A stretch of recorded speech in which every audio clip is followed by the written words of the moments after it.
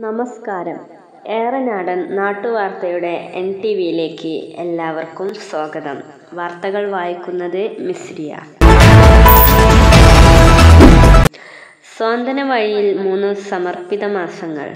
രോഗി പരിചരണത്തിൽ പുതിയ ചുവടുവെച്ച് എളയൂർ പാലിയേറ്റീവ് സൊസൈറ്റി. കിടപ്പിലായ രോഗികളെ പരിചരിക്കുന്നതിനും വേദനിക്കുന്നവരെ സ്വാന്തനിപ്പിക്കുന്നതിനും ഏകദിന വളണ്ടിയർ ക്യാമ്പ് നടത്തി. രോഗിയായവരെ ഇടനെഞ്ചിൽ ചേർത്ത് പിടിച്ച് എളയൂരിന്റെ പ്രകാശഗോപുരമായി എളയൂർ പാലിയേറ്റീവ് സൊസൈറ്റി. ഏറനാടൻ നാട്ടുവാർത്ത. നാട്ടുവാർത്ത ഇനി പട്ടണമെങ്ങും. അത്യാധുനിക സംവിധാനത്തിൽ പുതിയ കെട്ടിടത്തിൽ സ്വാതന വഴിയിൽ മൂന്ന് സമർപ്പിത മാസങ്ങൾ പിന്നിട്ട എളയൂർ പാലിയേറ്റീവ് സൊസൈറ്റി പ്രദേശത്തുകാർക്ക് വേണ്ടി ഏകദിന വളണ്ടിയർ ക്യാമ്പ് സംഘടിപ്പിച്ചു. രോഗി പരിചരണം ജീവിത തപസ്യയാക്കിക്കൊണ്ട് പ്രദേശത്തുകാരെ പ്രാപ്തരാക്കുവാൻ ഉദ്ദേശിച്ചു നടത്തിയ ക്യാമ്പിൽ കിടപ്പിലായ രോഗികളെ വീടുകളിൽ എങ്ങനെ പരിചരിക്കാം എന്ന് ശാസ്ത്രീയമായി വിശദീകരിക്കപ്പെട്ടു.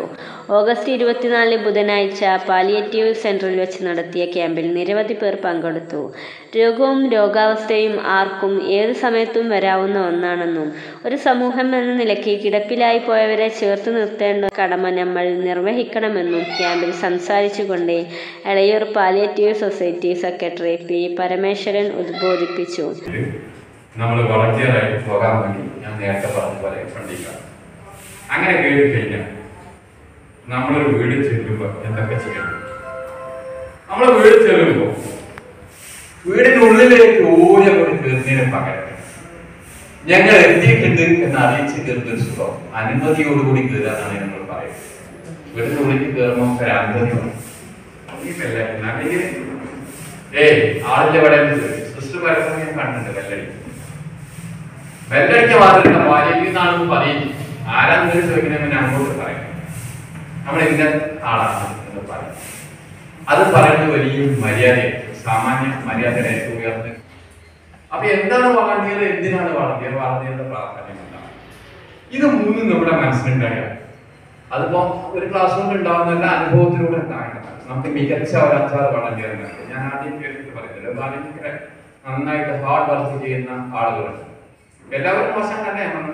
കട്ടിലിൽ ജീവിതം ചുരുങ്ങിപ്പോയവരെ ശുഭാപ്തി വിശ്വാസമുള്ളവരാക്കി മാറ്റണമെന്നും അദ്ദേഹം പറഞ്ഞു. രോഗി പരിചരണത്തിൽ പാലിക്കേണ്ട മര്യാദകളെക്കുറിച്ച് Edavanna C S C nurse Sunitha sister camp അംഗങ്ങളോട് സംസാരിച്ചു. വീഴാതിരിക്കാനുള്ള ഒരു സംവിധാനം നമുക്ക് നോക്കാൻ പറ്റും.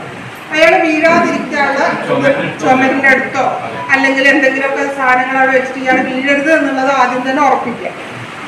എന്നിട്ട് കിടക്കുന്ന ആളുടെ നമ്മൾ ഏത് സൈഡിലേക്കാണോ തിരിക്കുന്നത്? ആ സൈഡിലെ കയ്യ് തലയുടെ അടിയിലേക്ക് കൊടുക്കണം.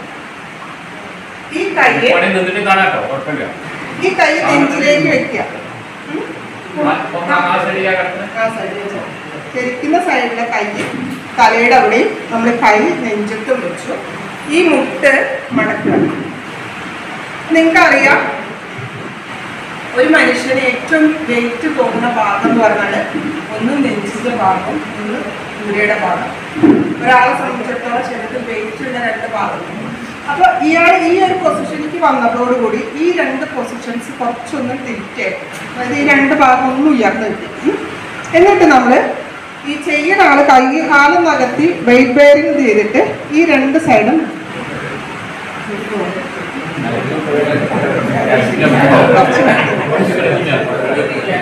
ഈ കാരണം ഒരാൾക്ക് ഇതിന്റെ സ്പേസ് തന്നെ ഇല്ലാത്തതുകൊണ്ട്. നമ്മൾ ഇങ്ങനെ ചരിച്ചു. ഇയാളെ അങ്ങോട്ട് ചരിച്ചു ഇറക്കി ഇനി നമ്മൾ ഇവിടെ ഓൾറെഡി ഇയാൾ ഇട്ട ഷീറ്റ് ഇല്ലേ? ഇയാൾക്കൊരു ഷീറ്റ് നമ്മൾ ഓൾറെഡി വിരിച്ചിട്ടുണ്ടായിരുന്നല്ലോ. അത് നമ്മൾ എന്ത് ചെയ്തു? ഇയാളുടെ അടിയിലേക്ക്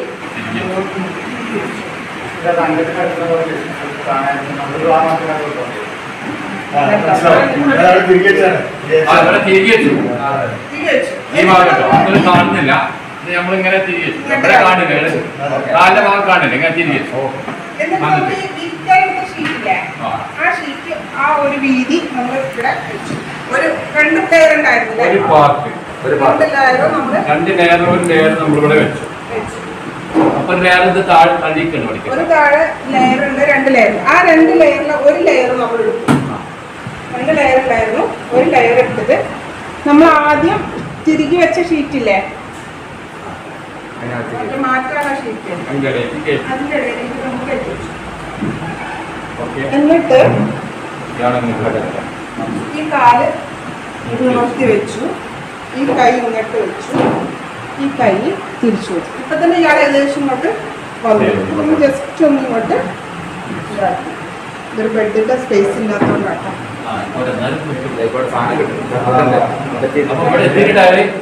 തിരിച്ച് ഇനി ഇങ്ങോട്ട് തിരിക്കണം.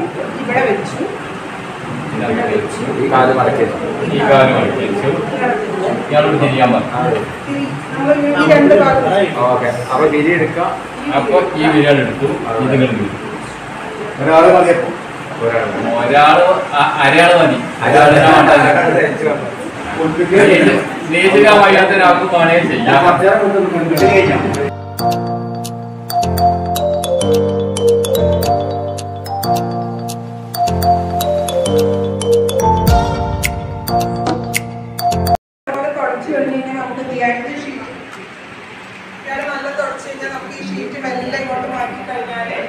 ബക്കറ്റിൽ ഇട്ട് വെച്ചാൽ ഇഷ്ടംപോലെ വെള്ളം ഒഴിച്ച് നമുക്ക് സാധാരണ കുളിപ്പിക്കുന്ന മാതിരി തന്നെ കുളിപ്പിക്കാം അപ്പൊ കുളിപ്പിക്കുന്നതുകൊണ്ട് എന്താ വെച്ചാൽ തല കുളിക്കുക എന്നുള്ളത് വളരെ ഒരാളെ സംബന്ധിച്ചിടത്തോളം ഭയങ്കര ഒരു ഫീലിംഗ് കിട്ടുന്നതാണ്. നമ്മൾ ഇതുപോലെ ഒരു റബ്ബർ ഷീറ്റ് ഇങ്ങനെ റബ്ബർ ഷീറ്റ് കിട്ടാത്ത ഒന്നുമില്ല ഒരു ടെക്സ്റ്റൈൽസിന്റെ കവറെങ്കിലും കിട്ടാത്ത വീടുകൾ ഉണ്ടാവില്ല. അത് നമ്മളൊന്ന് ചുരുട്ടിയിട്ട് ഈ രീതിയിൽ ഇവിടെ വെച്ചാൽ മതി. വെക്കുമ്പോൾ നമുക്ക് രണ്ട് സൈഡിൽ ചുരുട്ടി കഴിഞ്ഞാൽ ഫോൺ പോലെയാവും ആ ഫോണിൽ ഇതിലേക്ക് എന്ത് ചെയ്യുക ഇങ്ങനെ തല വെക്കുക. തല വെച്ചിട്ട് നമുക്ക് എന്ത് ചെയ്യാം? ഷാമ്പോ എന്താന്ന് വെച്ചാൽ ഇട്ടിട്ട് നമുക്ക് കഴിക്കും കാരണം കിടപ്പിലാവുമ്പോൾ മിക്കവാറും ആളുകൾ വിചാരിക്കും വെറുതെ തലയിൽ ഒന്നുമില്ലല്ലോ അഴുക്കൊന്നുമില്ലല്ലോ കിടക്കല്ലേ ചളിയൊന്നുമില്ലല്ലോ പക്ഷെ അത് വെറുതെ നല്ലോണം പേനിടാം പേൻ വന്നിട്ട് ശരിക്കും തൊപ്പി കിടപ്പിലായ രോഗികളെ വീടുകളിൽ എങ്ങനെ പരിചരിക്കാം എന്ന് ശാസ്ത്രീയമായി വിശദീകരിക്കപ്പെട്ടു. ഈ തുണി എന്ത് നല്ലോണം ചുറ്റുക. ചുറ്റിയിട്ട് ഈ ഒരു അറ്റം എപ്പോഴും എന്ത് ചെയ്യണം?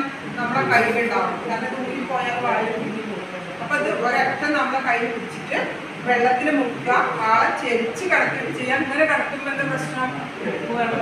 ഉള്ളിലേക്ക് പോകും. അപ്പൊ ചെരിച്ച് കിടത്തിയിട്ട് വെള്ളം പിഴിഞ്ഞിട്ട് വായുവിലൂടെ നല്ലോണം തുടച്ചെടുക്കും. ഓരോ പ്രാവശ്യം തുടച്ചെടുക്കുമ്പോൾ നല്ല അഴുക്കുണ്ടാവും. ഓരോ പ്രാവശ്യം കൂടി മാറ്റുക വീണ്ടും തുടയ്ക്കുക വീണ്ടും ചെയ്യുക അങ്ങനെ ഒരു അഞ്ചാറ് പ്രാവശ്യം ചെയ്യുമ്പോഴേക്ക് എന്ത് ചെയ്യുന്നുണ്ടാവും? ആ അഴുക്കൊക്കെ പോകുന്നുണ്ടാവും. മിക്കവാറും ആദ്യ പ്രാവശ്യം ചെയ്യുമ്പോൾ നല്ലോണം രക്തം വരും. കാരണം ഈ അണുബാധ വന്നിട്ട് അവിടെയൊക്കെ ഇൻഫെക്ഷൻ വന്നിട്ടുണ്ടാവും. അപ്പൊ നല്ല രക്തം കാണുമ്പോൾ ആളുകൾ എന്ത് ചെയ്യും? പിന്നെ ചെയ്യൂല. രക്തം കാണുന്നത് അവിടെ അണുബാധ വരുന്നതുകൊണ്ടാണ്. അണുബാധ വന്നിട്ട് അവിടെ വീക്കം വരുന്നതുകൊണ്ടാണ്. അത് നല്ലപോലെ തണുത്ത വെള്ളത്തിൽ കുറച്ച് കൊടുത്താൽ ആ മീൻ വീക്കം അടുപ്പിക്കോളും പിന്നെ നല്ലപോലെ വായ വൃത്തിയാക്കി കൊടുത്താൽ മതി. അതേപോലെ തന്നെയാണ് കിടപ്പിലായ നമുക്ക് കിടപ്പിലായി കഴിഞ്ഞാൽ ഒരുപാട് പ്രയാസങ്ങൾ എന്ത് ചെയ്യും? വരും. ഓരോന്ന് നമുക്ക് നമ്മൾ വിചാരിക്കും ഒരാൾ കിടന്നു കഴിഞ്ഞാൽ അയാൾക്ക് സ്വാഭാവികമായ രോഗികൾക്ക് പോയിട്ടുള്ളവരാണോ? നിങ്ങൾ എപ്പോഴെങ്കിലുമൊക്കെ സ്വന്തമായിട്ടോ അല്ലെങ്കിൽ എങ്ങനെയെങ്കിലുമൊക്കെ പോയി ഇടപെട്ടിട്ടുള്ളവരുണ്ടാവും. പ്രയാസങ്ങൾ കേട്ടിട്ടുണ്ടോ? ഒരു ഇപ്പം നമുക്കറിയാം നമ്മുടെ ഇടയിൽ ഇപ്പോൾ ക്യാൻസർ രോഗം ഭയങ്കരമായിട്ട് കൂടുന്നുണ്ട് നമ്മളിപ്പോൾ അവിടെ സിതി ഹാജി ക്യാൻസർ സെന്റർ തുടങ്ങിയിട്ടുണ്ട്. അപ്പോൾ അവിടെയൊക്കെ ഇഷ്ടം പോലെ കേസുകളാണ് ക്യാൻസർ രോഗികളുടെ ഇതിൽ കിടപ്പിലായ രോഗികളെ മലമൂത്ര വിസർജനം നടത്തേണ്ട രീതിയും കുളിപ്പിക്കേണ്ട രീതിയും ബ്രഷ് ചെയ്തു കൊടുക്കേണ്ട രീതിയും ഒക്കെ വളരെ ലളിതമായി അവർ വിശദീകരിച്ചു. അബ്ദുൽ മജീദ് മാസ്റ്റർ സ്വാഗതം പറഞ്ഞ പരിപാടിയിൽ പ്രസിഡന്റ് പി സി പത്മനാഭൻ അധ്യക്ഷത വഹിച്ചു. ശങ്കരനാരായണൻ സാർ നന്ദിയും പറഞ്ഞു. മൂന്ന് മാസം മുമ്പ് മെയ് പതിനഞ്ചിന് മുൻ ആരോഗ്യമന്ത്രി കെ കെ ശൈലജ ടീച്ചർ ഉദ്ഘാടനം നിർവഹിച്ച ശേഷം വിവിധങ്ങളായ പ്രവർത്തനങ്ങളുമായി മുന്നോട്ട് പോകുകയാണ് എന്ന് എളയൂർ പാലിയേറ്റീവ് സൊസൈറ്റിയുടെ പ്രസിഡന്റ് പി സി പത്മനാഭൻ ഏറനാടൻ നാട്ടുവാർത്തയോട് പറഞ്ഞു. ആഴ്ചയിൽ മൂന്ന് ദിവസം സൗജന്യമായി പ്രവർത്തിക്കുന്ന തൊറാപ്പി സെന്റർ പ്രദേശത്തെ ആളുകൾക്ക് വലിയ ആശ്വാസമാണ്. സമൂഹത്തിലെ വിവിധ തുറകളിലെ ശാരീരിക പ്രയാസം അനുഭവിക്കുന്നവർ ഇതിന്റെ ഗുണഭോക്താക്കളാണ്. ഇതോടൊപ്പം സ്പീച്ച് തെറാപ്പി കൂടി ഉൾപ്പെടുത്തി തെറാപ്പി സെന്ററിന്റെ പ്രവർത്തനം വിപുലപ്പെടുത്താൻ ആഗ്രഹമുണ്ടെന്നും അദ്ദേഹം പറഞ്ഞു. നാട്ടുനന്മയുടെ നിറക്കാഴ്ചകളുമായി എൻ ടി വി ഇപ്പോൾ തന്നെ സബ്സ്ക്രൈബ് ചെയ്യൂ. News bureau N T V Malappuram.